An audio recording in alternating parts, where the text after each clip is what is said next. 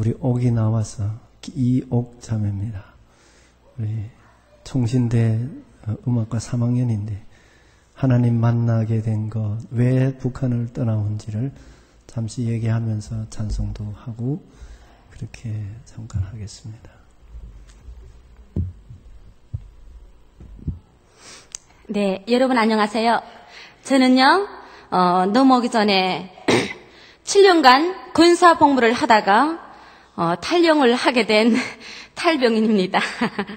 우리 북한으로 말하면 죽일 놈 사형 쓸지는 몰라도 제가 한국으로 와서 주님 안에 주님 품 안에 안겨서 다시 주님을 깨닫고 보니까 저는 사명만 바꿨을 뿐이지 다시 주님의 전사로 사명만 바꿨을 뿐 거듭 주님의 전사로 태어난 주님의 전사입니다.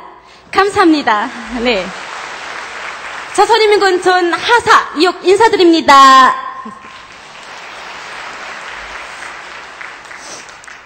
제가 7년 동안 하다가 왔지만 만 2년 제가 더 복무를 해야 만기 제대가 됩니다. 횟수로 3년을 더 해야 되죠. 그래서 제가 탈영할 때는 하사 출신으로 탈영하게 됐습니다. 정말 여러분들과 마주하고 볼 때 구체적으로 말씀드리자면 24시간 밥 안 먹고 자지 않고 끝없이 얘기해도 끝이 없어요. 네, 단위당 시간 내에 짧게 기본 정말 포인트만 말씀드려야 되니까 제가 참 부담스럽기 그지없습니다. 그러나 많이 간추려서 재밌게 말씀드리려고 합니다. 먼저 시작하기 앞서 저 영적 무진 북한 땅에서 영원히 주님을 모르고 죽을 수밖에 없었던 몸이었지만 정말 사형장으로 끌려나가는 그 순간 기적 같은 주님의 은혜로 이렇게 구원을 받아서 오늘은 이렇게 마음껏 살아 숨쉬며 또 주님의 학교에서 마음껏 공부하며 오늘 이렇게 여러분들 앞에 세워서 주님을 중곡해 하여 주신 우리 하나님께 진정으로 찬양과 영광을 올려드립니다. 감사합니다. 저는 북한을 탈영하게 된 큰 두 가지 요인이 있습니다. 우선 첫째로 내가 지금 믿는 하나님보다 나의 무의식 속에서 북한에서 더 큰 하나님으로 믿고 나의 마음속에 의존해왔던 오보이 수령님이 돌아가서였습니다. 여러분들은 믿음이 안 갈지는 몰라도 그때는 제가 군사복무 도중이었고 군무를 서던 도중이었어요. 74년 7월 8일 날 오전 9시경 부대에서 지금 포천막에서 군무를 서던 도중인데 방금 들어온 소식입니다. 우리 당과 우리 인민의 위대한 수령 김일성 동지께서 오늘 새벽 뜻밖에 서거하셨습니다. 어, 무슨 소리야? 전 믿어지지 않았어요. 제 귀를 의심했습니다. 거듭 말씀드립니다. 하면서 아이 또 나가는 거예요. 아나운서에 울먹울먹한 막 엘토살 베이스 깔린 소리가 막 나는 겁니다. 그래도 저는 믿어지지 않았습니다. 왜냐하면 여러분들도 TV 그 매스컴 통해서 그 북한의 라진 선봉군 그 소개할 적마다 위대한 수령 김일성 동지는 영원히 우리와 함께 계신다. 복원하시죠 구호판. 저를 비롯한 우리 북한 주민들은 우리가 죽어서 세대가 바뀌어도 김일성 수령님은 영원히 죽지 않고 살아 계시는 분으로 알고 있었습니다. 지금 깨닫고 보면 착각이었죠. 그래서 저는 도저히 돌아가셨다는 걸 믿어지지 않았습니다. 그러나 믿을 수밖에 없었던 상황은 저의 직속 서, 상관인 서대장 동지 사모님, 중대장 동지 사모님들이 저희 군부대 사, 주변에 사택이 있어요.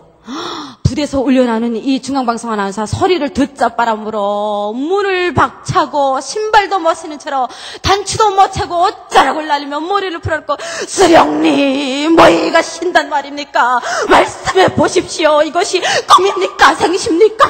하면서 막 오열을 터뜨리면서 우리 포차막으로 막 뛰어들어온 거예요 저희 정문 포차막 앞에 바로 조선인민군 장병들에게 영광이 있으라 하고 최고 사령관 동지 친필 서원이 내린 그 콘크리트에다 이렇게 짜서 만든 구호판이 있습니다. 그걸 나서 원래 쓸고 내려 쓸고 하면서 오열을 터트리는 거예요. 이거 식당입니까? 생십니까? 막 까무러칠 것처럼. 아니, 저는 이 상황까지야 체험하면서 제가 몸 안 믿을 수가 없죠. 어머, 어, 수령, 어머, 수령님, 수령님 돌아가셨다고? 아니, 그분도 정말 우리하고 같, 같은 사람이었어? 그분도 죽는 사람이었어? 어머, 믿어지지 않는 거예요. 그래서, 어머, 어머, 어머, 어머, 아니, 이건 분명 아니야. 서서 막 먹는 거 어쩔 줄 몰라서 그러다. 그 자리에서 저는 청을 맨 채로 서서, 어머, 어머, 이건 아니야, 이건 아니야 하다 그 자리에서 절도하고 말았습니다. 아이, 웃을 일이 아니랍니다. 저희 절도는 아무것도 아니에요. 전국 각지에서 정말 당과 시령에게 충실했던 러 간부님들 시령님 소가신 뒤에 시령님 부르짖고 시령님만 찾으며 사흘 동안 나흘 동안 지어는 한 줄 동안 굶으면서 절도에서 깨어나지 못하고 심장 판막 심장마비로 깨어나지 못하고 그 자리에서 돌아가신 러 간부님들이 한두 명이 아니랍니다. 전국 각지에 몇백 명을 이루었습니다. 그래서 이분들에게는 당중앙위원회로부터 열사증이 수여됐습니다. 저에게는 최고 사령관 동지에 대한 충실성이 높았던 편으로 충실성 표창을 하달, 하달받았습니다. 이 동문은 어버이 시령님에 대한 충실성이 너메로 1번부터 8번까지 다 쓰는 거예요. 제가 또 부모님들이 또 두 분 다 선생님들이었던지라 북한에서는 고등학교 선생님들은 숨은 영웅들이라고 해요. 그 선생님들이 교원들이 학생들을 후대교육 사업을 어떻게 하는가에 따라서 그 나라의 장래 운명 미래가 결정되기 때문에 아주 교원들에 대한 비중을 국가에서 많이 둡니다. 그래서 이신작 측의 모범을 보여야 되기 때문에 저희 특히 부모님들은 아주 거짓식해서 두 분 다 정말 당리 시키는 대로 실용이 시키는 대로만 하도하던 부모들이에요. 그래서 제가 부모들한테 교육을 받다 보니까 벌써 아침에 탁 깨어나면 눈만 뜨면 먼저 일어나서 아빠 엄마가 정성스럽게 만든 그 비료, 비료도 천으로 만든 그 뭐야 정성걸레 차상화 정성걸레를 들고 먼저 눈부터 짜게 주면 벽에 걸어놓은 시령님 지도자 청시 지도자 동지 최상화부터 정성껏 모십니다. 시령님 오늘도 시령님이 교시한 말씀대로 티 없이 깨끗이 살게 해주시옵소서. 이렇게 예 마음과 같이 치를 다 갉아내리는 거예요.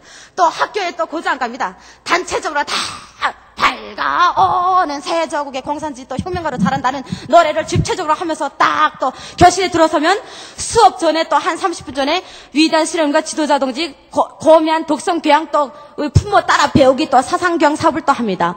모든 과목 지도자 동지 어린 시절 수령님의 혁명 교과서 몽땅 과목이 이런 것들이에요. 지우는 수학 교과서 암지라도 응용 문제 내는 것이 플러스 마이너스 나오면서 오늘도 오버이 실령님에 대한 어, 오버이 실령님의 무슨 사족지를 8개 건설했는데 옆에다 두 개를 더 건설해 플러스 뭐도 몇 개가 됩니까? 뭐 문제도 이렇게 나옵니다. 예. 또 저녁에 가서 잠자리에 자기 전에 또 아빠 엄마 시키는 대로 앉아가지고 내가 또 오늘 실령님이 교시한 말씀대로 오근하지 않게 살았는가 제대로 살았는가 하루 생활을 비춰봅니다. 명상에 잠기죠. 그래서 또 그걸 딱 한번 하고 나야 또 잠이 옵니다. 저를 비롯한 우리 모든 북한 주민들이 아빠 엄마의 마음에서 왕 태어나서부터 죽을 때까지 하루 일과 24시간 프로그램 시스템이 이렇게 되어 있습니다. 그래서 우리는 실용 뭐 김일성 김정일이가 너희는 나를 어, 하나님으로 모셔라 하지는 않아도 저희가 자동으로 하나님으로 모셨습니다. 예. 저는 하나님을 깨닫고 보니까 제가 그렇게 믿었다는 것을 알았습니다. 무의식 중에 그렇게 믿었다는 것을. 그런데 아 이거 좀 와 이렇습니까 이거? 아 이거 좀 제대로 해주십시오. 야. 네. 네.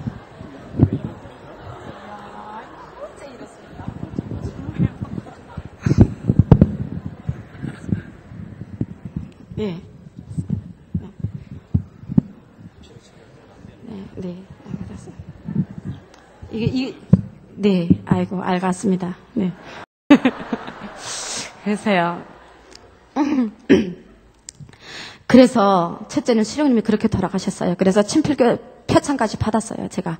저로 말씀드린다면 아주 영광스러운 조선인민군 일당 맥전사랍니다. 그래서 저 혼자만은 살 수가 있었어요. 왜? 저는 친필 표창을 받은 것으로 해서 저는 신임받는 전사로 낙인됩니다. 참, 저희 정말 모든 생활에 이렇게 많은 영향을, 도움을 받죠. 그런데 또 올 수밖에 없었던 다른 한 가지 또 상황이 있습니다. 아, 왜 오게 되었나 설명 못 했네요. 그래도 수령님이 돌아가시니까 수령님이 살아야 나의 장래와 미래, 우리 모든 운명이 있는 것이지. 수령님이 주시는 백을 먹고 타는 것이지. 수령님이 돌아가시니까 모두 나의 장래와 미래 모든 것이 엉망진창이 되어버렸다고 생각되니까 모든 것이 끝이라고 생각되더라고요. 그래서 저는 절도한 겁니다.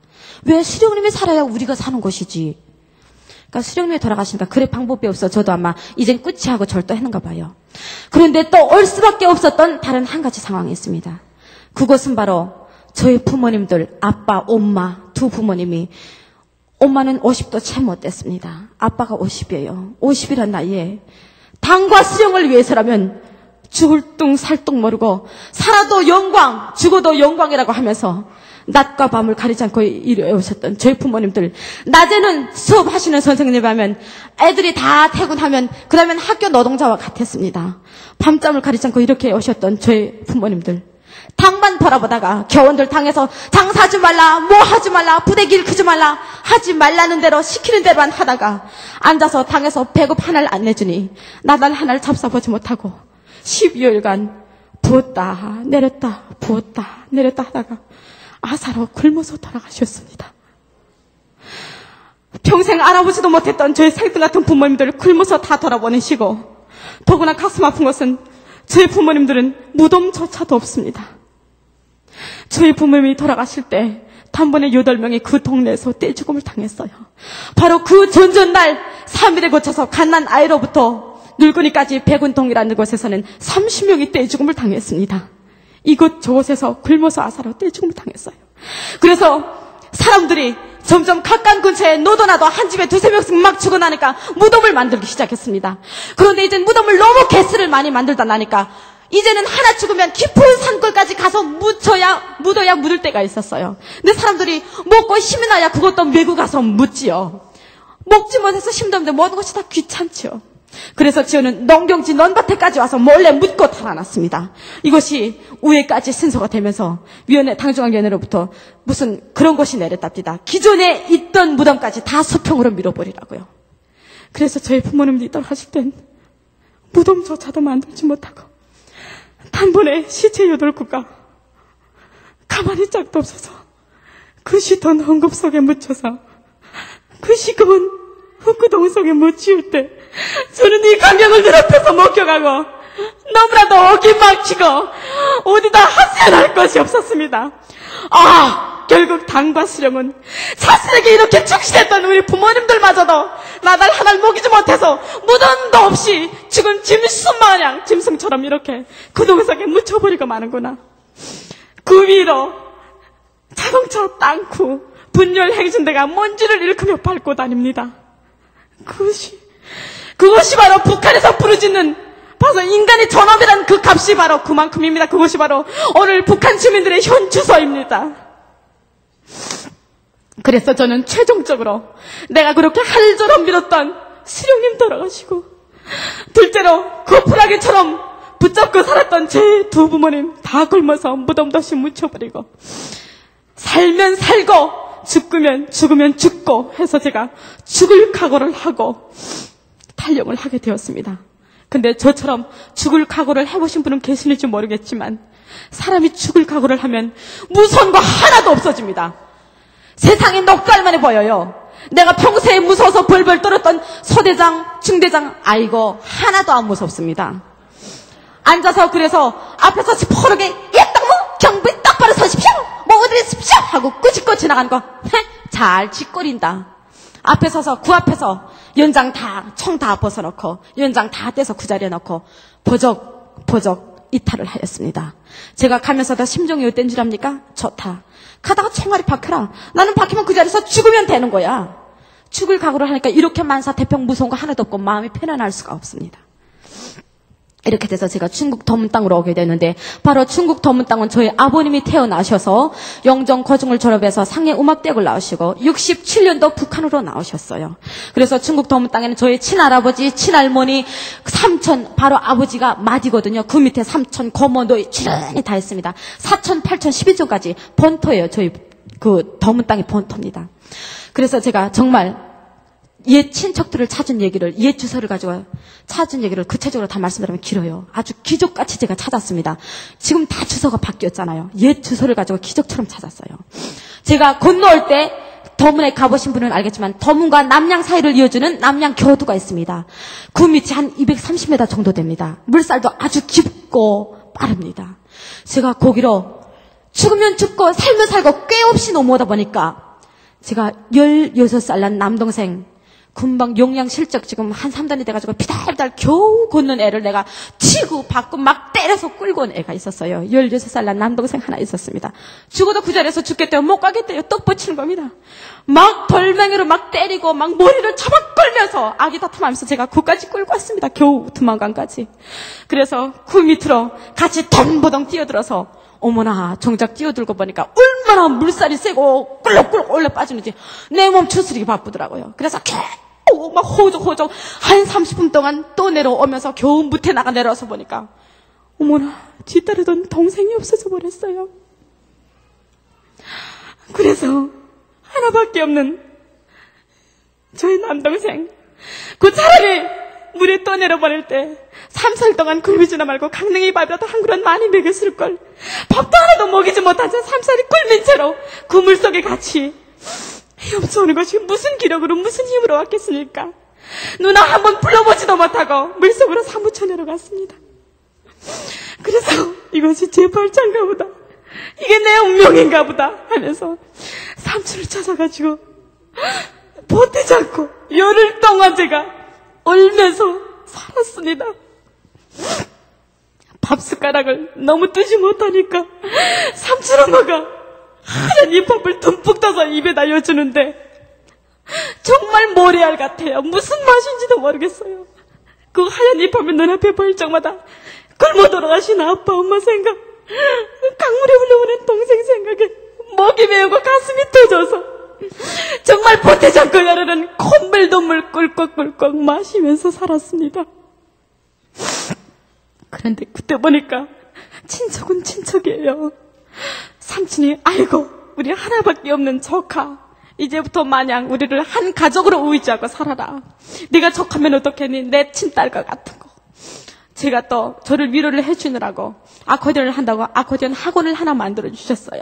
그래서 나름대로 또 벌어먹고 또 보니까 먹고 싶은 거 먹고 입고 싶은 거 입으니까 또 아 이렇게 또 사는가 보다 하면서 서서히 잊혀가면서 살고 있었습니다. 아니 그러던 어느 날 문득 어느 날 갑자기 꼭 1년 만에 저희 앞에 강물로 또 내려간 동생이 나타났습니다. 너무나도 감사합니다. 네.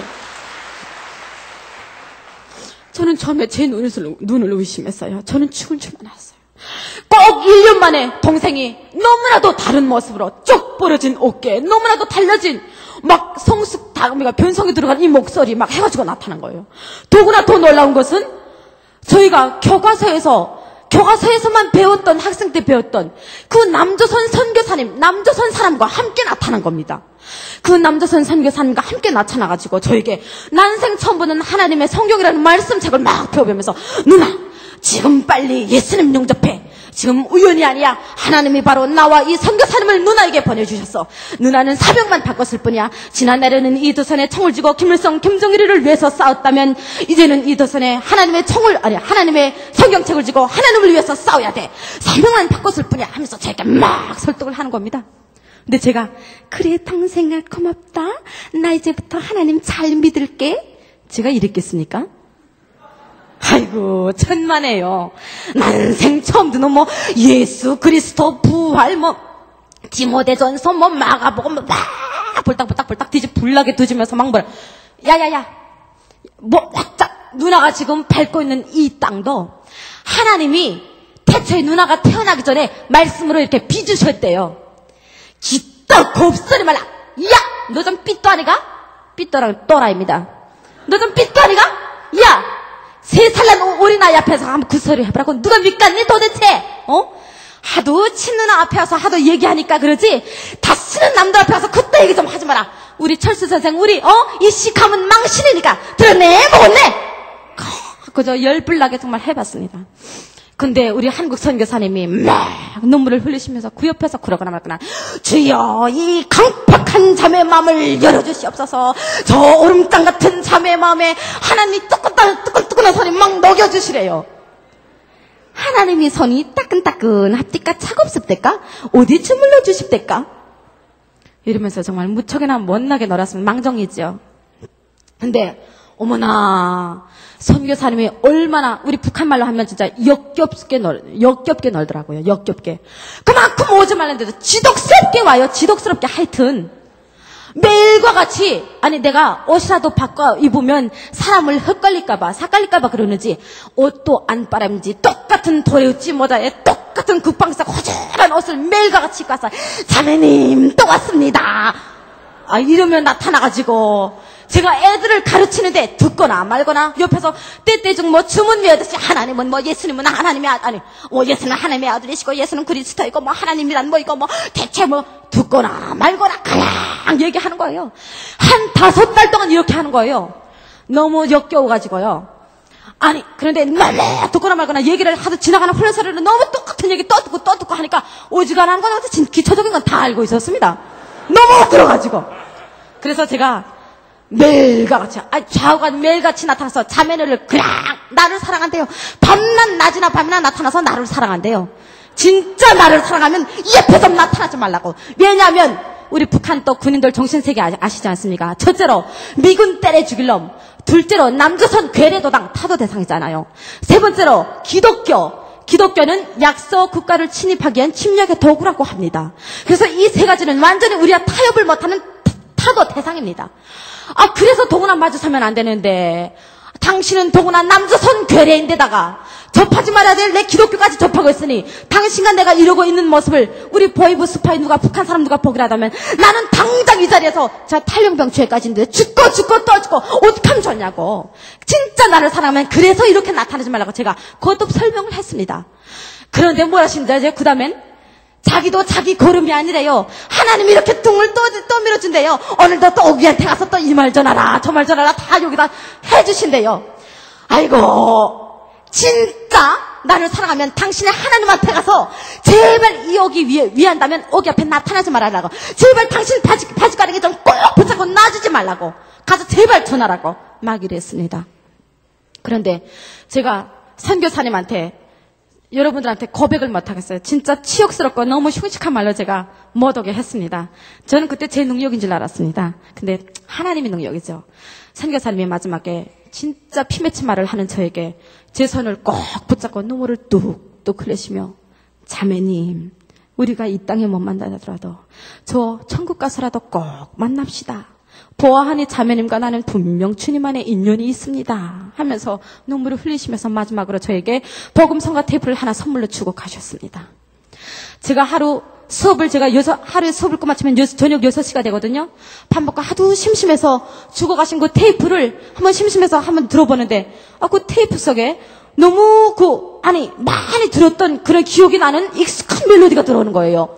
아, 무슨 멜로디인가 했더니, 음,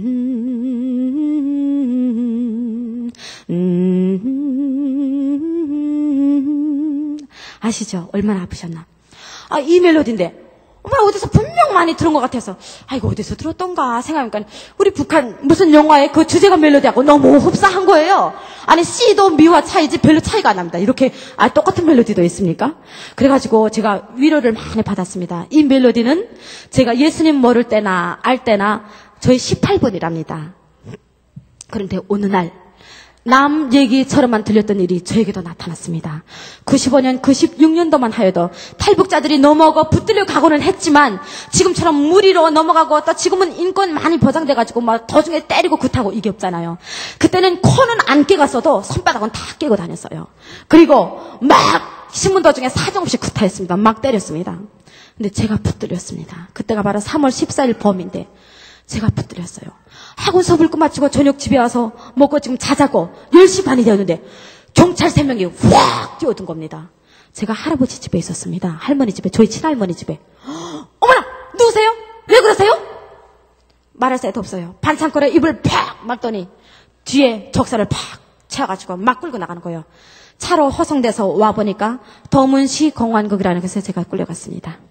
한국으로 말하면 뭐 서울시 경, 경찰청이나 경찰국이라거나 그런 데 제가 끌려갔죠. 10시 반부터 12시 반까지 신문을 받다 보니까 내용인즉 제 옆 동네에 아코디언 학원이 하나 떠 있었습니다. 그 학원에 다니던 학생이 제 학원으로 와버렸어요. 그러니까 이 선생님이 자기 학생을 뺏기다 보니까 저를 밀고 해버린 거죠. 근데 이 선생님과 저는 저선적원인데 저보다 두세 살 오예요. 저하고 같은 동업을 한다고 또 친구 사이입니다. 제가 괜히 또 삼촌한테 설거분 일이 있으면 구원이한테 부르르 가서 또 있는 소리 없는 소리 다 비밀이 없는 체질이라 또다 얘기하면서 위로를 많이 받았던 언니예요. 교과서도 많이 주고받았고. 구원이가 나를 밀고 해버렸어요. 그래서 저를 독감방에 였는 거예요. 뭐 그런 일이 있을지는 몰라도 다시 또 감옥에 가면 아니 그런 일은 없겠죠. 여기 감옥은 있는지 모르겠습니다. 서너 평방 되는 그런 독감방이에요. 문 하나도 없습니다. 창문 하나도 없어요. 오직 네모 반듯한 콘크리트 벽에 옆에 철문 하나 쪽문 있습니다. 거기로 들어갔다 놨다 하는데요. 창문이라도 있으면 제가 현직 군인이었다고 뭐 홍길동이 돼서 나, 달아나서 뭐 어, 나가기라도 할까봐 그런지 문 한 짝도 없는 그런 또 감방 저는 처음 봅니다. 그런데다 요코 저를 골상에 앉히고 두 다리 다 묶고 두 팔 다 묶고 문을 걸고 나가면서 병사가 있는 겁니다. 당신은 내일 날이 밝아서 오후 드시면 이 남양교를 통해서 북한으로 이송되게 됩니다. 하고 알려줍니다. 제가 북한으로 이송되면 어떻게 되죠? 여기 군법도 별로 비, 비슷하리라고 봐요. 저는 북한으로 예상되면 우리 북한 형제들도 많이 계시지만 저는 총살이에요. 단방의 총살입니다. 저는 저국과 인민당과 수령을 배반한 탈령죄로 저는 총살입니다. 이것을 뻔히 알면서도 저는 크게 놀라거나 당황하지는 않았습니다. 왜냐하면 저는 가족들이 있잖아요. 나의 삼촌 고모 가족들이 있잖아요. 나름대로 또 다 때 부자들입니다. 할아버지가 물려준 그 공장을 받은 저희 삼촌이 공장장이고 또 고모부는 은행 부행자고 나름대로 부자들이에요. 아니 이 하나밖에 없는 조카 자기 가족 한 사람 끌려가는데 쉽게 내버려, 내버려 둘 상식습니까? 나를 분명 구원해 주죠. 그래서 참 기대하면서 기다렸습니다. 그런데 제가 오후 2시면 끌려가잖아요. 바로 그 2시간 전인 12시가 됐는데도 기다리는 삼촌 고모 저희 친할아버지, 친할머니 얼굴은 거사고 삼촌 고모는 얼굴 한쪽도 안 나타나는 겁니다. 어머나? 모르는 걸까? 모르는 거 아니잖아요. 모르는 게 아니잖아요. 내가 삼촌 집에서, 할아버지 집에서 왔는데, 일동 사세들을 옆에 다 누르니, 다 그 동네에 있습니다. 어머, 지금 오는 중일까? 그래, 조금 더 기다려보자. 똑딱똑딱 시간은 가는데, 안 나타납니다. 정례는 안 나타나요. 야, 그때 저희 심정 한번 여러분 생각해 보세요. 제가 얼마나 억울하고 얼마나 분통했을까. 남도 아닌 그 가족들에게 내가 너무나도 처절하게 버림받았다. 나는 이젠 죽어야 한다. 이 죽음이라는 두 글자 앞에 친척도 세상도 다 나를 외면해 보이고 말았습니다. 나에게는 지금 남은 것이란 죽음밖에 없습니다. 죽음이라는 두 글자가 내 앞으로 한치 한치 다가고 있어요. 제가 끌려 나갈 때 보니까 끌려 나갈 때 보니까 저 깜짝 놀랐습니다. 겉옷까지 땀으로 흠뻑 다 젖어버렸어요. 물바게트 뒤집어 쏟나 했습니다. 시큼시큼한 땀대로. 그렇게 하고 부끄럽지만 밑에는 버릴 못 버릴 다 봐버렸습니다. 제가 얼마나 요동을 치면서 얼마나 몸부림을 쳤는지. 이렇게 정말 죽음밖에 죽음밖에 기다리는 것이 없는 이 순간 갑자기 저의 18번 멜로디가 생각나는 겁니다. 음,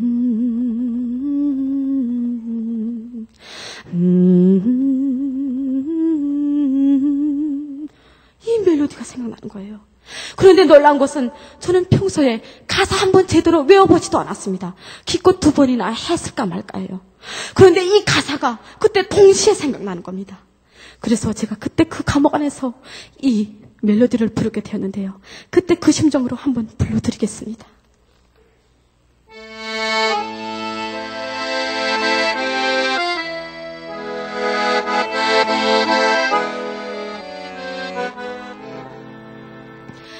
얼마나 아프셨나. 못 박힌 그 선과 벌, 죄 없이 십자가에 매달리신 예수님, 하늘도 모든 땅도 저목들 더다 울걸 해조차 힘을 잃고 오늘이 빛이잤 네？아, 끝없어라 주의 사랑 언제나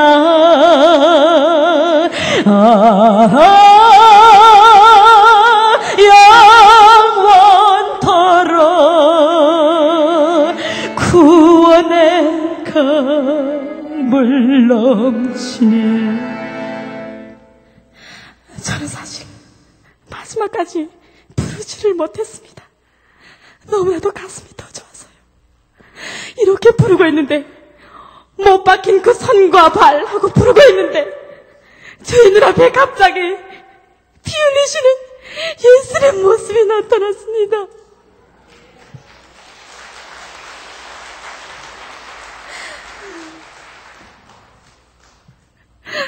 저희 눈앞에 나타난 예수의 모습은 다른 데가 아니고 제 생각에 꼭 옆 이마 부분이에요. 이쪽 부분입니다.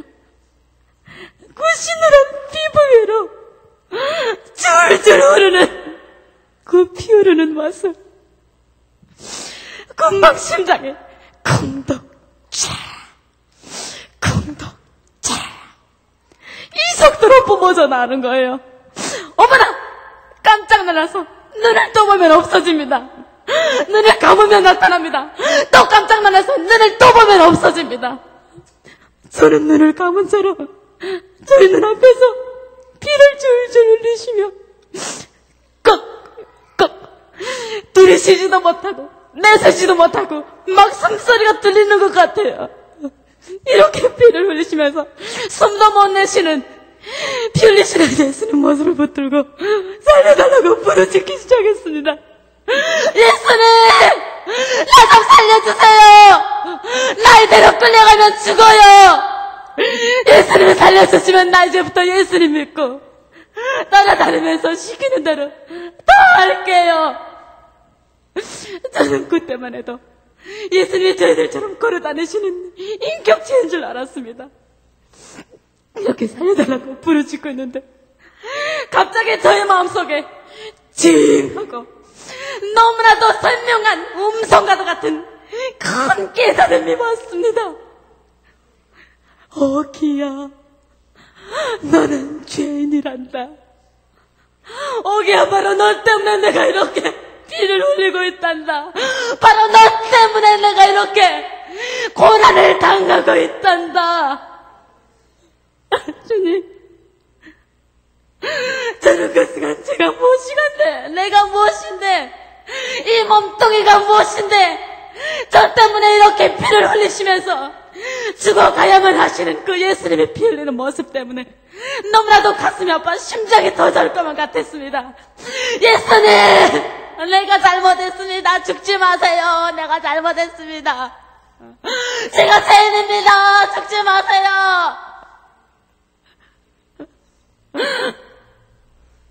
저는 제게 예수님을 전도시키려고 왔던 저희 한국 선교사님과 동생에게 못나게 했던 그 모든 것들 주님 앞에 다 터놓으면서 회개하기 시작했습니다. 제가 평소에 잘못이라고 생각조차 못했던 모든 것들을 주님이 다 기억시키시고 주님 앞에 고백해 하시더라고요. 그때 제가 하나 생동이 생각나는 것은 인민학교 4학년 때 초등학교 4학년 때 저하고 사이 좋았던 사이가 안 좋았던 애 그 집에 가서 그 집이 비고 사람이 없는 틈을 이용해서 제가 돌을 가지고 가서 그 집 창문을 다 깨놓고 달아난 적이 있습니다. 그런데 이 사실도 그때 제가 주님 앞에 눈물을 쏟으며 통곡을 하면서 주님 앞에 얘기했던 그런 기억이 납니다. 하여튼 너무나도 신비로운 것은 평소 이거 잘못인 줄도 모르고 살았던 모든 것이 주님 앞에 다 잘못이 되더라고요. 이렇게 회개를 하고 있는데 갑자기 문이 팍 열리는 겁니다. 어머나 두 시가 되었나 봐요. 들어오더니 제게 묶였던 족쇄 먼 것을 풀고 청탁으로 자동보청 아시죠? 뒤에 그 청가목으로 제 똥을 팍팍 밀면서 바깥으로 태모는 겁니다. 끌려 나오면서 보니까 저희들을 실으러 변방차 국경 경비대 차가 뒤에 올록올록한 무늬가 있는 트럭 달린 차가 왔더라고요. 저희들을 실으러. 근데 저는 혼자 독감방에 있어서 몰랐잖아요. 끌려 나가면서 보니까 저 말고도 또 끌려 나가는 북한 아주머니들이 세 명이나 있는데요. 그 끌려 나가는 모습들이 정말 사람 모습들이 아니에요.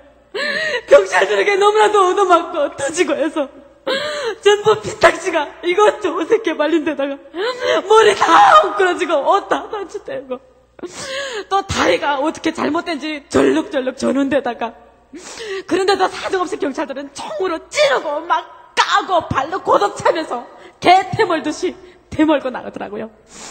막 구불려서 발에 채워서 넘어지면서 흙먼지 팍팍 이는 그 땅바닥 속을 몇 바퀴 뒹굴면서 50도 넘은 그 아줌마들이 막 경찰들의 그 다리 먼지 묻은 그 그두발을 한 가슴으로 끊어 끌어 안으면서 아저씨 나 한 번만 살려주세요. 나 저 땅하면 맞아 죽어요. 나 저 땅하면 굶어 죽어요. 한 번만 살려주세요. 죽을 똥 살 똥 모르고 애걸복걸 하더라고요 한 아주머니는 너무 매달리는지 경찰 한 명이 총탄을 팍 그 자리에서 다리 자기 다리를 붙는다 팍 내리깠는데 아마 종슬이 여기를 깠나 봐요.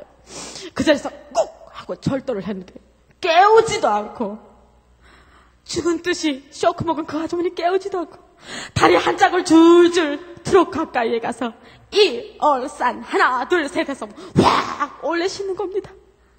그거 깨우지 않으면 어떻게 됩니까? 죽어버리잖아요. 이렇게 저는 이 광경을 목격하면서 야 나는 남보다 그래 22살이란 나이에 조금 더 일찍 죽을 뿐 나는 저렇게 비참하게 맞으면서 쇼크까지 먹으면 저렇게 죽고 싶지 않더라고요. 나도 저렇게 몸부림칠까봐 뒤에 팔을 꽉 붙드는 겁니다. 놓으세요! 난나 저럴 거예요. 화도 나고 맞고 싶지 않아서 저는 개 대접을 받고 싶지 않아서 나 혼자 지금 오른다고는 오르지만 저는 그때야 실감했습니다. 제 오른쪽 다리를 지금 트럭에 올려놓는데 야, 이 다리 오른쪽 다리 하나가 왜 이렇게 무겁습니까? 막 놀랄 정도예요. 다리가 막 안 올라가요. 계속 두 다리를 끌어서 지금 적잠에 걸려졌는데 마음에는 눈, 죽음과 눈물밖에 없습니다. 야, 내가 이제 왼쪽 다리 요것마저 올려놓으면 부르릉 차는 또 나겠지. 차는 떠나면 이제 남양교도를 통과해서 우리 본부 평양으로 가겠구나. 나는 그럼 군사재판에 올라가지고 스탄 군인들 앞에서 이제 총살을 맞겠구나. 총알이 여기 박힐까 여기 박힐까. 내가 이제 죽으면 누가 나를 땅에 묻어줄까. 내가 땅에 누우면 하늘에 별이 보일까 달이 보일까. 별난 생각이 다 지나가는 겁니다. 왼쪽 다리를 지금 겨우 올려놓는데 나는 가서 죽어야 되는데 누가 죽음의 문턱을 빨리 놓고 싶은 사람이 어디 있습니까? 나는 요것만 왼쪽 다리만 마저 올리면 나는 죽어야 되는데 그래서 시간 하나라도 더 벌어보려고. 왼쪽 다리를 올려놓으면 잘못 올려놓은 척하면서 신발을 뚝 떨어치고 또 주워 올려놓으면 신발을 또 뚝 떨어치고. 시간을 벌어보려고요. 무지 정말 벌레처럼 보드락질을 했습니다. 그런들 놓치겠습니까? 차가 부르릉 시동을 걸고 차가 떠나려고 하는데 갑자기 똥이벌 똥이벌! 잠깐만 잠깐만 하면서 연락병 병사 한 명이 막 대는 겁니다.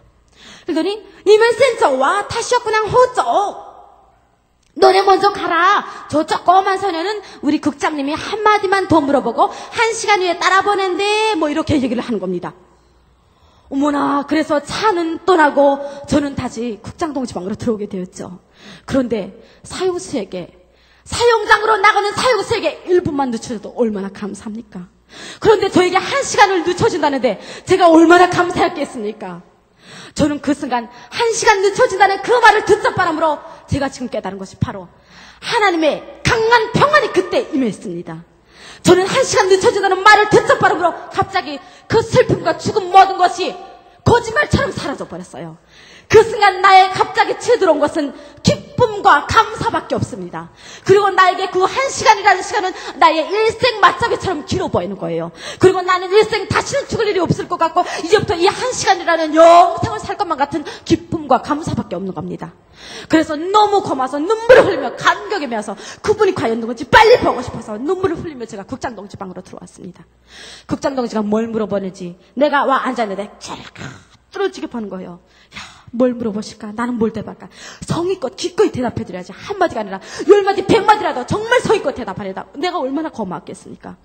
뭘 물어보시나? 나는 뭘 대답할까? 눈길을 마주보다가 나도 모르게 밤새 치달리고 너무 정신적으로 육체적으로 고통스러워서 그랬는지 모르겠지만 그 순간 한 시간 늦춰지는 말 듣자 바람으로 뭘 물어볼까? 나는 뭘 대답할까? 듣다 그 자리에서 확 잠들어 버리고 말았습니다. 나도 어떻게 잠들었는지 모르겠어요. 그 국장동지와 같이 눈길을 맞아다가 그 자리에서 아주 거짓말처럼 잠들어 버렸습니다. 국장동지가 후에 얘기하는 것이 내가 또 쇼크 먹었나 했대요. 그래서 막 깨웠는데도 깨우지도 못하고 저도 몰랐습니다. 제가 잠들 때는 주위에 북적북적하고 사람도 끌려나가고 매 맞고 오후 2시였잖아요. 제가 분명 어떤 인기척에 의해서 깨났거든요. 인기척이 막 나는 거예요. 나도 모르게 눈을 반쪽 떠서 보니까 제 주위에 있던 사람 한 명도 없고 주위는 캄캄하고 창밖 보니까 심심야밤이에요. 저는 대뜸 깊은 밤인 줄 알았습니다. 그런데 어떤 사람이 분명 제 옆으로 뚜벅뚜벅뚜벅 오는 겁니다. 앉아가지고 불도 켜지 않은 채로 익숙한 동작으로 앉아가지고 발과 팔에 묶었던 제 족쇄를 팍 열어가지고 제 팔을 막 끌고 나가는 겁니다. 아, 그 순간 세 살한 아이 아니면 아이키 하나 모자란 사람이 있고 어머나 놓으세요 나 여기다 내버려두세요. 이럴 사람이 어디 있습니까? 느낌이 지금 있는데 누가 나를 좀 구원해주고 있다. 나는 지금 풀려나고 있다. 이런 느낌이 다 있잖아요. 나도 막 손 씻고 해서로 막고 막 끌려 나갔습니다. 제가 들어올 때는 나갈 때 보니까 정문으로 들어왔는데 큰 담장이 있어요 담 위로 막 쇠사슬 이렇게 해놓고 그 정문 철문으로 나오는 거 보니까 제 생각에 뒷골목이에요 뒤로 나왔습니다 그래서 육교를 하나 건너가지고 여기 한국으로 말하면 차 다방입니다. 조그만 방에 들어가가지고 저에게 생수를 한 잔 따라주는 겁니다. 저는 그때야 새- 그 생수를 받아 마시면서 그 어둠 속으로 내 팔목을 끌고 온 그 사람의 얼굴을 그제봤습니다. 어머나 보니까 오후에 저에게 한마디만 더 물어보고 한 시간 후에 따라 보내주신다던 도문시 공항 국장님이었습니다. 그런데 하시는 첫 마디 뭘 하시는 줄 아세요? 자기도 지금 못할 짓을 했잖아요. 원래 나를 구원해줬잖아요. 손 차서 헐떡헐떡 걸며 나도 지금 무슨 짓을 하는지 모르겠어. 내가 지금 왜 이러는지 모르겠어. 너 딱 처음 에 봤을 때 내 딸 같았대요. 내가 생기면 자기 딸 같대요. 지금 나이 몇 살이지? 스물두 살이요. 야, 내 딸도 지금 스물두 살이야. 그 다음에 뭐, 너도 살고 나도 살으려면 이 덤은 땅을 두고 뭐 긴 얘기 하셨어요. 이거 하나도 안 들려요. 저는 여기까지 듣자고, 저는 여기까지 들으니까 다시 한번 더욱더 제 확신했습니다. 나는 이제부터 죽을 일이 단 한 번도 없다. 나는 이제부터 다시 새 삶을 시작한 것이다. 그리고 제가 깨달은 것은 그 국장님이 하나님을 압니까? 예수님을 압니까? 아무것도 모르잖아요. 그러나 아무것도 모르는 이 국장님의 마음을 감화 감동시켜서 그 배에서 우리 하나님께서 그 국장님대로 저를 꼭 자신의 생김과 나이가 자기 친딸처럼 보이게 하셨습니다. 그래서 그 국장님도 자기가 무슨 짓을 하는지 왜 이런 짓을 하는지 모르고 친딸을 구원하는 심정으로 저를 그 밤에 구원해 주셨던 것입니다. 국장님을 통해서 저를 구원해 주신 우리 하나님 찬양합니다. 감사합니다. 너무나도 감사합니다. 바로 저를 구원코자 하신 주님의 계획대로 우리 선교사님과 동생을 저에게 보내주셨지만 주체 사상으로 똘똘 뭉친 이 머리 바로 강팍했던 바로처럼 강팍했던 이 가슴을 뚫을 길이 없으니까 다시 주님의 방법대로 저를 독감방에 붙들리게 하시고 친척과 의지하고 살았던 모든 인간과의 관계를 단절시키시고 오직 주님만 바라보게 하셔서 죄인임을 회개하고 깨닫는 저에게 살려달라고 부르짖는 저에게 주님이 기적을 통해서 저를 한순간에 영과 육의 구원을 동시에 주셨던 것입니다. 감사합니다.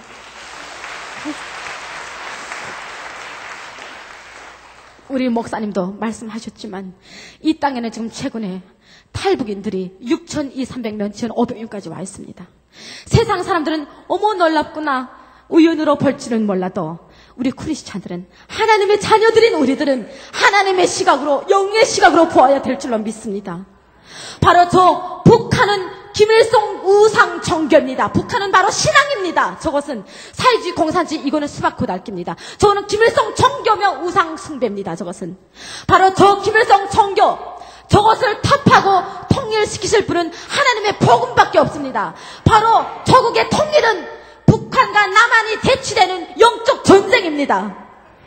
바로 하나님께서 저 복음 통일을 이루시려고 탈북의 사건들을 통해서 저를 비롯한 많은 탈북인들을 저 동남아시아 유럽 모든 지역으로 저희가 그것을 거쳐서 이곳까지 불러내시고 또 불러내는 모든 과정들의 성경에 나는 불구름과 기둥 구름을 구름 구름 기둥을 통해서 저희들을 구원해 주시고 주님을 체험케 하셨습니다. 그리고 또 저처럼 이렇게 체험하신 분들이 한두 명이 아닙니다. 저보다 더 심한 더 정말 훌륭한 체험하신 분들이 너무나도 많습니다. 그리고 감신대, 청신대 여러 각곳에서 주님의 튼튼한 좀 선봉대로 전사로 준비하고 있습니다. 바로 주님께서 저 복음 통일을 저희가 세계 선교도 너무 중요하지만 사도 바울도 그랬던 것처럼 우리가 세계 선교로 나가는과 동시에 이 마음에 이 마음에 내 동족, 내 민족, 내 형제의 영원 구원을 위한 그 마음의 기도를 품고 나가면 주님께서 통일은 보너스로 주실 줄로 믿습니다. 감사합니다. 네. 그래서 저희들이 바로 주님께서 저희들을 통일의 겨두보로 통일의 선봉대로 예배시키죠, 예배시키고서 저희들, 저희들을 이곳까지 부르셔서 지금 준비시키시는 줄로 믿습니다. 그래서 저희들이 주님께서 계획하시는 복음 통일의 수레라면 여러분들은 튼튼한 기도의 원동력이 되어서 내 동족, 내 형제를 구원하는 심정으로 죽을 줄등 살등 바르고 바로 저처럼 이렇게 죽기 살기로 주님에게 부르짖었던 이 모습으로 주님에게 부르짖으면 주님께서 바로 해결해 주실 줄로 믿습니다. 감사합니다. 그래서 정말 주님께서 계획하시는 그 복음 통일에 저희들이 수레라면 여러분들은 튼튼한 기도의 원동력인 수레 바퀴가 되어서 저희와 함께 주님께서 계획하시는 그 복음 통일의 수레를 함께 밀고 나가시기를 부탁드립니다. 감사합니다. 네. 세상에서 주님을 모르고 방황했던 그때를 정말 제가 기억하면서 지금은 사명을 바꿔서 주님의 자녀이 된이 공주를 가지고 여러분들과 함께 주님의 감사의 영광을 올리면서 세상에서 방황할 때를 함께 부르기를 원합니다. 어.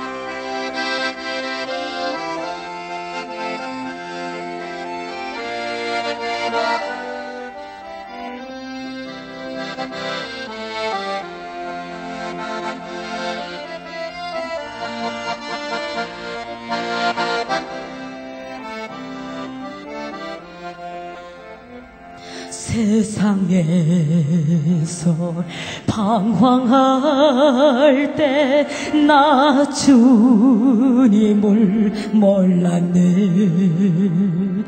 내 맘대로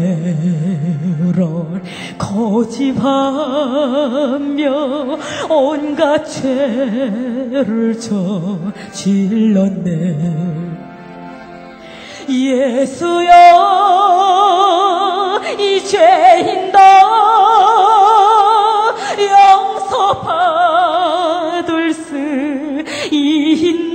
나요 본래 맘도 못한 죄가 용서받을 수 있나요? 사절이여 내 모든 죄 무거운 짐 이젠 모두 다 벗었네 우리 주님 예수께서 나와 함께 계신다오. 내 주여 이제 일이 무한 감사드립니다 몸과 영혼까지 주를 위해 바칩니다